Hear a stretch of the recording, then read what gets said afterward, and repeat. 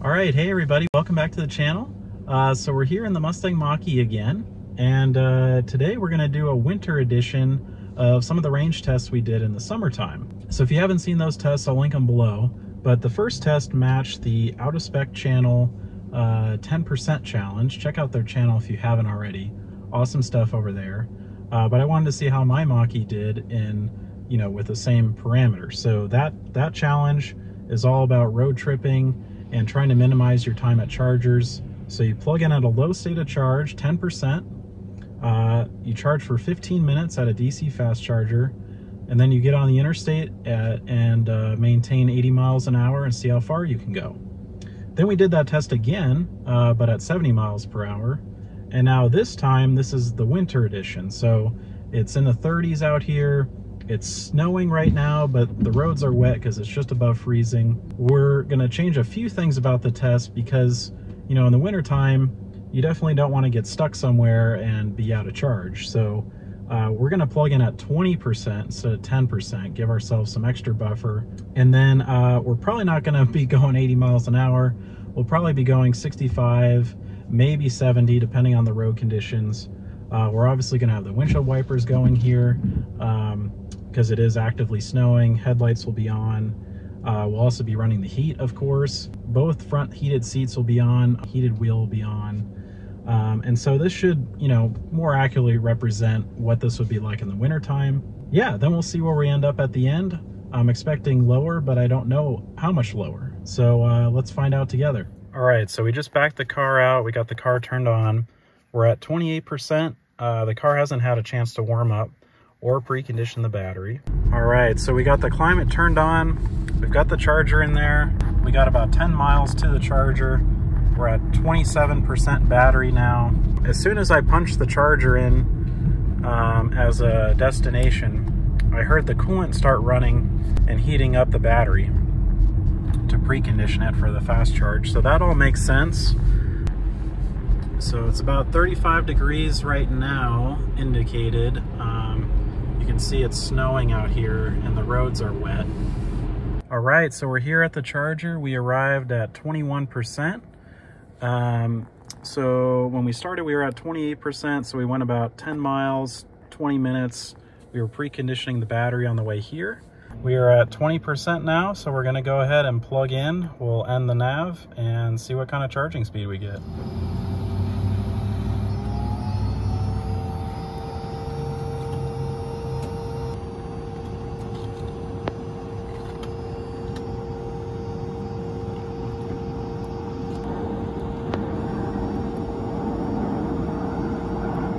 Okay, so we plugged in. Um, we got actually better speeds than I thought we were going to right off the bat. So that preconditioning uh, definitely made a difference. Um, we are at about 85 kilowatts right now. The highest I saw, I think, was 97, although it took the screen a second to load. So staying in the 80s here when the weather's cold, that's not terrible for this car. All right, so we've been plugged in for about eight minutes now. Um, we've delivered 11 kilowatts.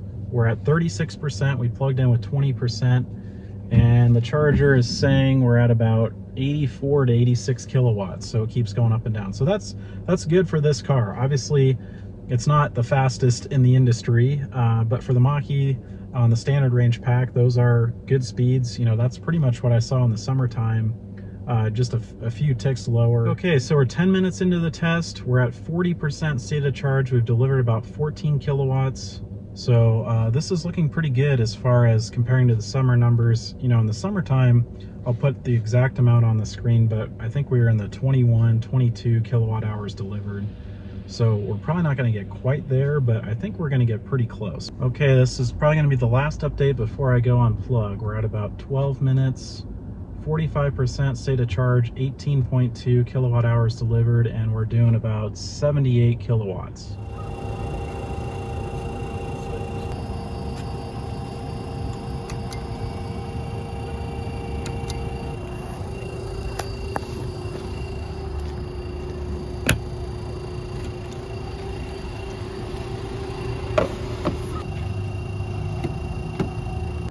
Trip one, we're gonna reset that. We're at 49%. Uh, we delivered about 20 kilowatts to the car, so uh, we'll keep the climate going here. Heated seats at level two. Let's get on the road, see how far we can go. All right, getting back on the interstate here. Took a few minutes, had some traffic and traffic lights. So we've gone 1.2 miles, 1.9 miles per kilowatt hour. Okay, so we're at 47% now. We're gonna try and go about 65 to 70, 70 if we can, just to compare to the prior results. yeah, we'll give you an update in a little bit here. So we're about to turn around here. We're at 35%. Um, we've gone 21.8 miles, 25 minutes, averaging 2.5 miles per kilowatt hour. It's about 35 degrees. It's been fluctuating up to 37 and then kind of changing between rain and snow and a lot of water on the road. Okay, we're at 30% now, and remember we're going to 20% this time, not 10% since we started at 20% with the winter buffer. Um, we've been able to maintain close to 70. There's been some traffic and some road conditions, so uh, the first part of the test we were, we were doing 70 cruise the whole time, and then the last 10 miles or so it's been kind of up and down, so um, yeah, we've gone almost 30 miles now. 2.5 miles per kilowatt hour average.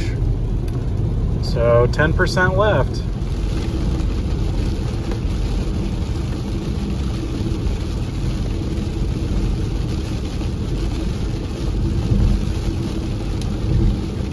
All right, so we're about to go past the charger. We did a, a loop style test, so it would hopefully negate the wind and elevation as much as possible.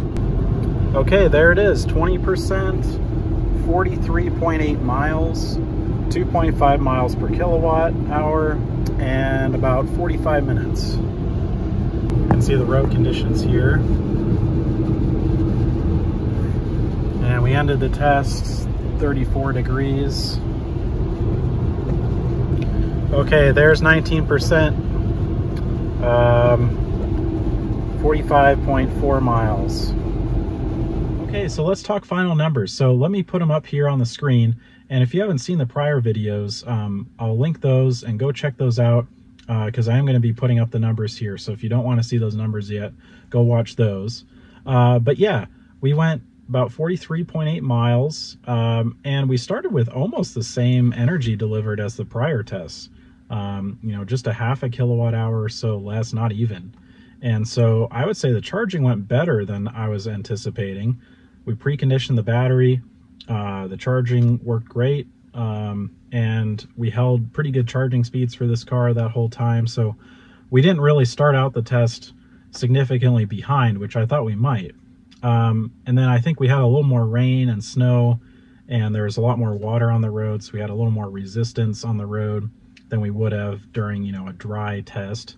So I still think there's multiple more variations of this test we could do, you know, even lower temperatures, but maybe dry roads, um, an even windier day, something like that. Th those would all be interesting. Even, even with all those factors, still starting with the same amount, we still finished about 30% behind where we were when the temperatures were warmer and we did that 70 mile per hour test. We weren't nearly as far behind as the 80 mile an hour test though, obviously. Uh, the speed does make a big difference. And uh, so yeah, charging went better than anticipated. Our range wasn't as good as I was hoping considering the energy we started with. Um, the climate in here was plenty warm. This is just a light jacket and I was plenty warm. I had it set on 72, heated wheel. Uh, passenger driver seats were on two bars on the heat uh, and heated wheel was on. I would actually would have been fine with one bar on the heated seat and probably turning the temperature down some uh, I would have been plenty warm. I'm just trying to think as somebody that, you know, maybe isn't thinking about conserving energy as much and, you know, wants to be plenty warm and, you know, maybe got kids in the car and you want to make sure they're warm. So yeah, pretty interesting results. You know, hopefully you found this helpful. You know, obviously if you're, you're road tripping in the winter, you're going to give yourself a little more buffer. You're probably willing to charge for a little bit longer to give yourself more buffer.